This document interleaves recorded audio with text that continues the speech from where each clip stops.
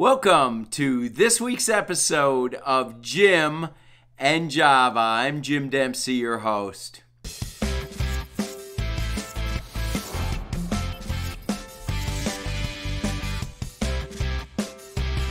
Well, we're in the Labor Day weekend, and I'm excited about the opportunities that we have as we move into the fall. We're getting close to the final quarter of our year. That's always a very important time for nonprofit organizations as we see a large bulk, 30% or more of our income comes in the last quarter of the year. So if you are moving that direction, whether it be events or letter, phone, meeting strategies with individuals as we approach year end.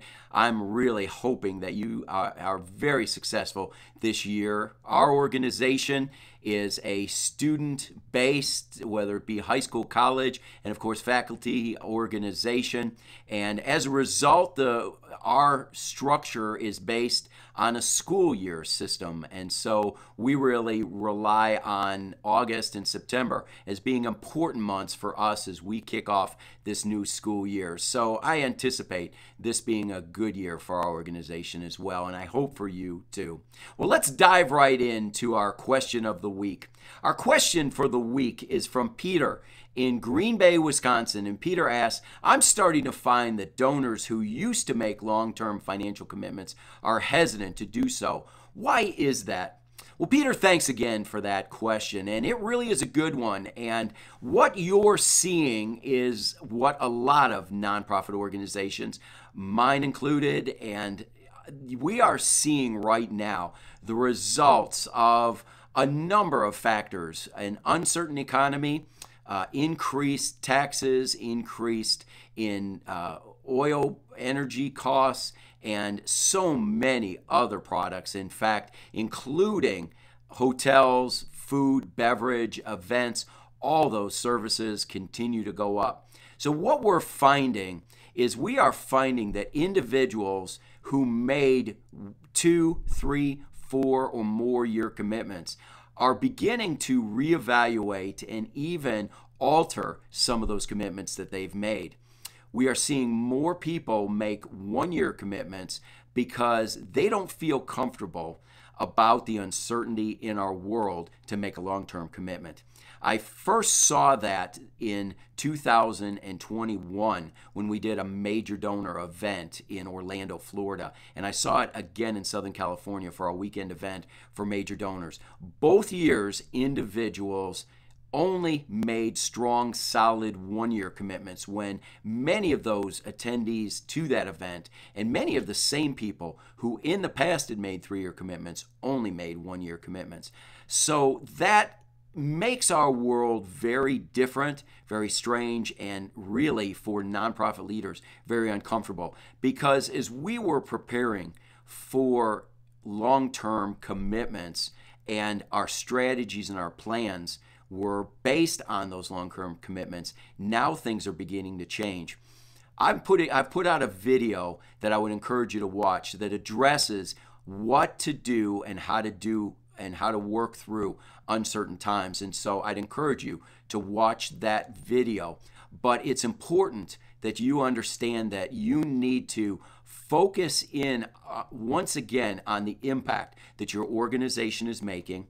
Look for opportunities to reinforce your appreciation, to thank your partners for their giving, to make sure that you are building on the trust that you have built, the integrity that your organization has over the years, and make sure that you keep people as informed as possible and continue to build on the trust that you have with them. And that will definitely make a difference.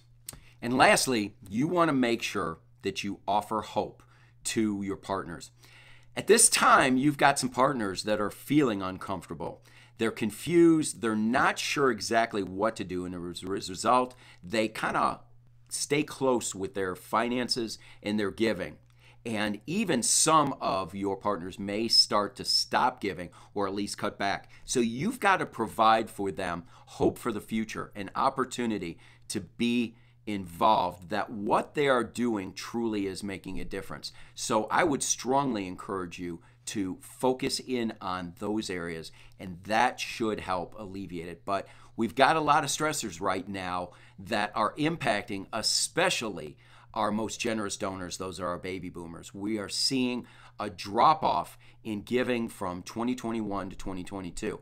We're hoping that maybe much of that decrease in their giving will pick back up towards year end and they'll make up for the difference.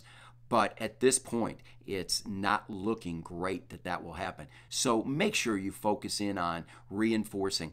Once again, I address that principle that it's so much easier to keep current and lapsed donors or to regain lapsed donors than it is to find new donors. And so it's important that you focus on those areas. So, Peter, I hope that helped answer your question. Yes, these are uncertain times, and people are making short term commitments and not long term commitments. So, I hope that helps. Thank you for submitting questions. If you're one of those who aren't submitting questions and you have questions out there, please submit those to us at on Twitter at DevEffStrats and use the hashtag Jim and Java. You can always reach out to me on email at developmenteffectivenessm at gmail.com. And please be sure to subscribe, share these videos and all the videos on our channel with your colleagues and friends. And it's our desire that we would grow this community, but do so by providing solid principles and practices. So, as we always say, it's our desire to help you increase income and reach the goal of becoming fully funded. Watch this video to see more money raised than ever before. Take care. See you in the next video. Bye bye.